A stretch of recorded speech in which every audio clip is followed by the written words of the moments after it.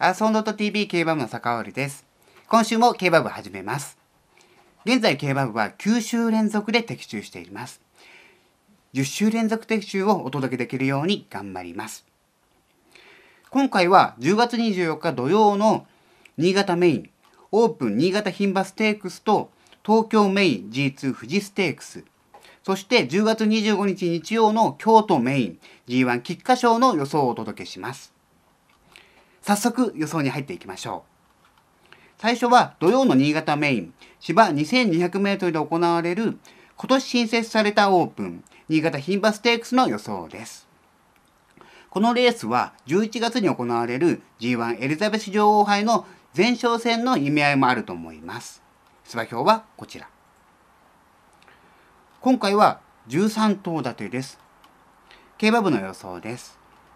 まず私、坂織の本命は、先週の結果報告で注目馬に指定したレッドアステルが出走を回避したので、3枠3番ティグラー社に変更しました。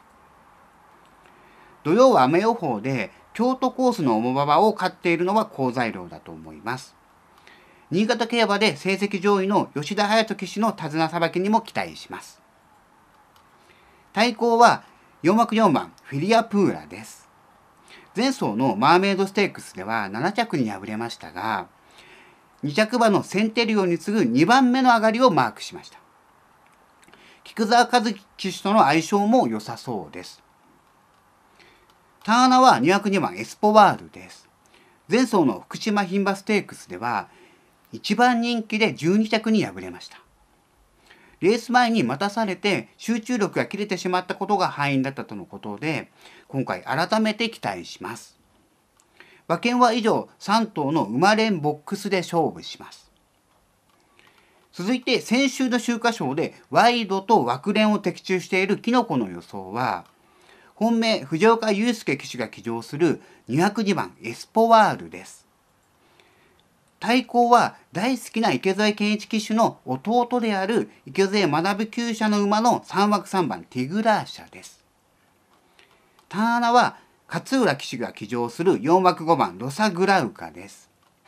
馬券は以上3頭のワイドと枠連のボックスで勝負とのことです。そして先週の秋華賞では9番人気のソフトフルートを赤星にして見事に副賞的中。さらに競馬部では予想していませんでしたが先週日曜の東京10レーステレビ静岡賞を4頭の3連複ボックスで万馬券2万2980円を的中先週月曜のダート交流 G1 マイルチャンピオンシップ南部杯でも万馬券をゲットしているムーさんの予想です今回の赤星は凱旋門賞を勝っているワークホース産駒の6枠9番パルティアーモとのことです。ノーザンダンサーの多重クロスを持っており新潟の同じコースで勝利していて平坦の新潟コースが合っているので赤星としたのことです。他の馬はジャスタウェイ産駒1枠1番シング・フォー・ユー。オルフェーブル3区の2枠2番エスポワール。ディープ3区の3枠3番ティグラーシャ。ルーラーシップ3区の5枠6番ウラヌスチャームホワイトマツル3区の7枠10番コンダクトレス。馬券は赤星6枠9番パルティアーモの単勝と一等軸の3連複5頭流し。そして枠連冠生まれのボックスで勝負とのことです。次に土曜の東京メイン芝 1600m で行われる G2 富士ステークスの予想ですこのレースは今年から G2 に昇格となりました11月に行われる G1 マイルチャンピオンシップの前哨戦です。出馬表はこちら。今年は12頭立てです。まず私、坂織の本命は4枠4番里のアーサーです。前走の関谷記念では一昨年のエプソムカップ以来の勝利を飾りました。最終追い切りは立東半路で4ハロン53秒3。ラスト1ハロン12秒9を馬なりで計測。管理をする池江調教師は、状態はいい。硬い馬場よりも少し渋った馬場の方が合うと思うとコメント。6歳馬になりますが、まだ走りに衰えは見えません。前走の好状態をキープしているようです。連続重賞制覇を期待します。対抗は3枠3番モズダディです。最終大切りは立東ウッドチップ合わせで5ハロン66秒0、ラスト1ハロン12秒1をいっぱいによって計測。5歳オープンロードゴラストに1馬身半先着しました。管理をする藤岡健視調教師は、調教を重ねるたびに緩さが抜けているね。道悪も対応できる。とコメント。東京コースのマイル戦は3戦2勝と相性が良い舞台なので勝ち負けを期待します。単穴は8枠11番ラウダシオンです。前走の NHK マイルカップでは見事な走りで G1 を勝利しました。最終大切りはリットウッドチップで6ハロン87秒9ラスト1ハロン11秒8を馬なりで計測。管理をする斉藤隆調教師は春と比べて力強さが増しています。動きがいいですとコメント。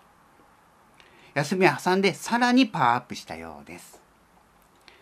今回3歳馬で唯一56系を背負うのは不安材料ですが安城のデムロ騎士の手綱さばきに期待します。馬券は以上3頭の馬連とワイドのボックスで勝負します。次にキノコの予想は本命一番好きな池添騎士が騎乗する5枠6番レイエンダーです。金層は結果が出ておりませんが池添騎士の手綱さばきで復活を期待するとのことです。対抗は外国人騎手で一番好きなデムーロ騎手が騎乗する8枠11番ラウダシオン。単穴は石橋騎手が騎乗する2枠2番大西ビジョン。馬券は以上3頭のワイドと枠連のボックスで勝負とのことです。そしてムーさんの予想です。今回の赤星はタートルボール3区の2枠2番大西ビジョンとのことです。前走の NHK マイルカップでは着差0秒3差の4着に負けましたがこの馬は使い込むと良くなく圧倒的に休養明けで実績を残しています。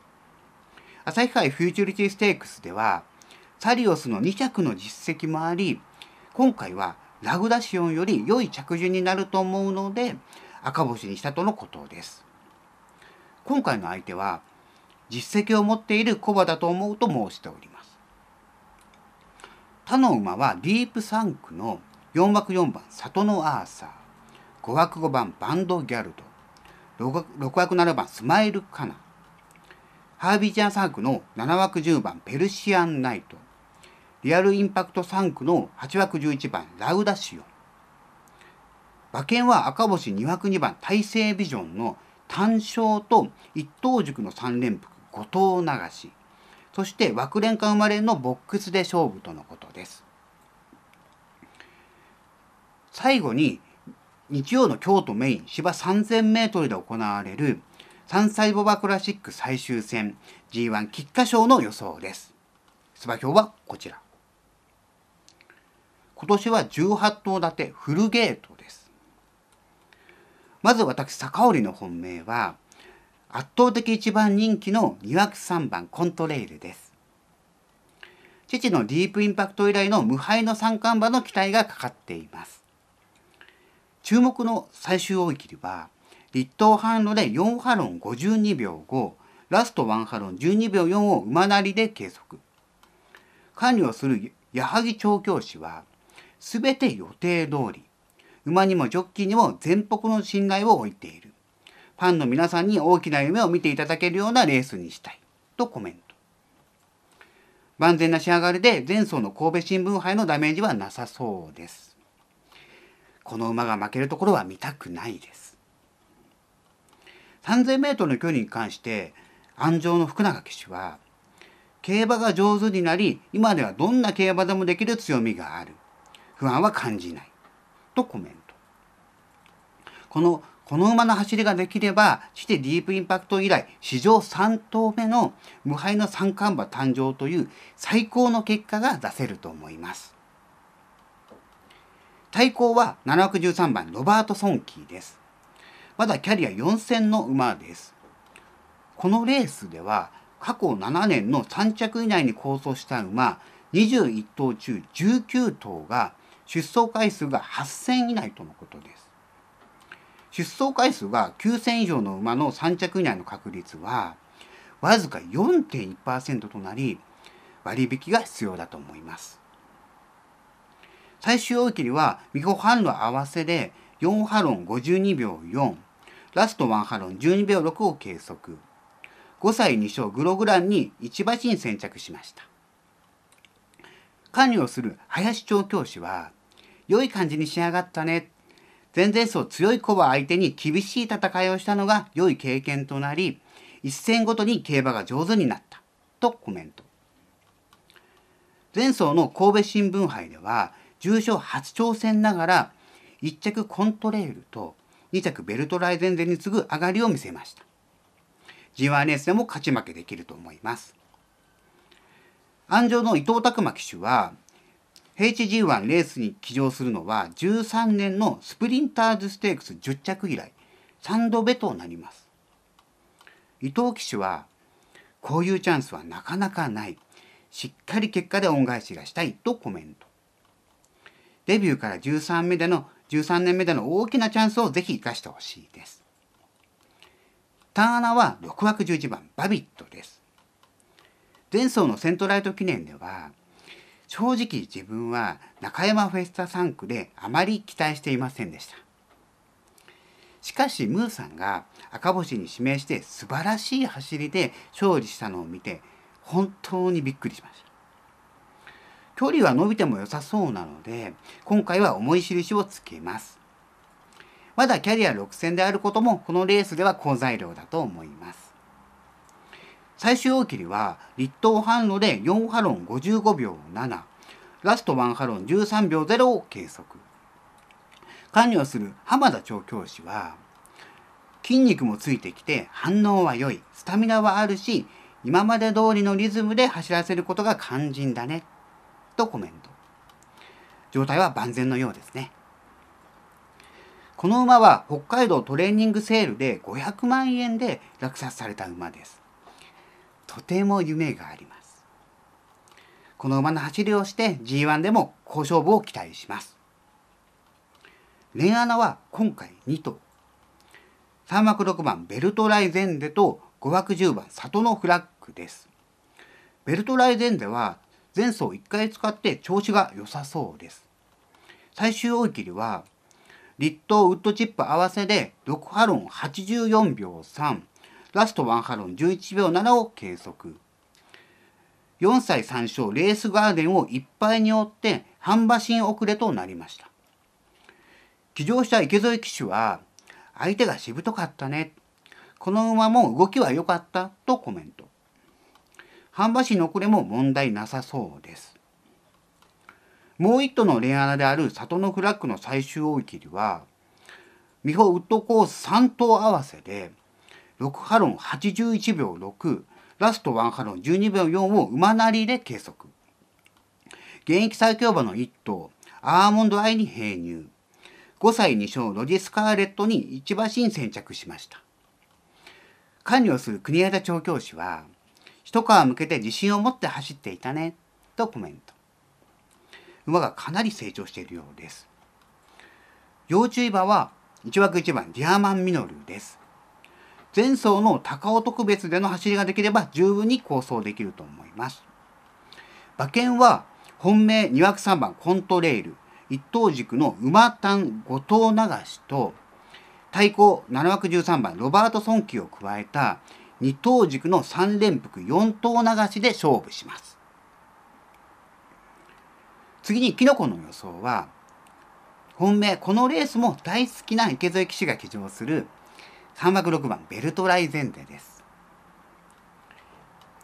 池添騎手はこの馬の半径は一昨年の菊花賞馬ワールドプレミアだし三冠の中で今回が一番合うとコメントしています。